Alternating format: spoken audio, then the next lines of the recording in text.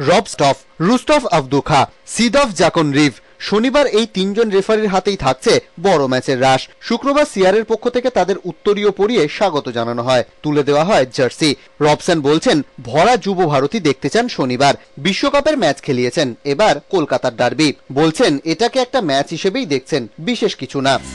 All the matches is the same. For the referee, there is no difference which match he is officiating.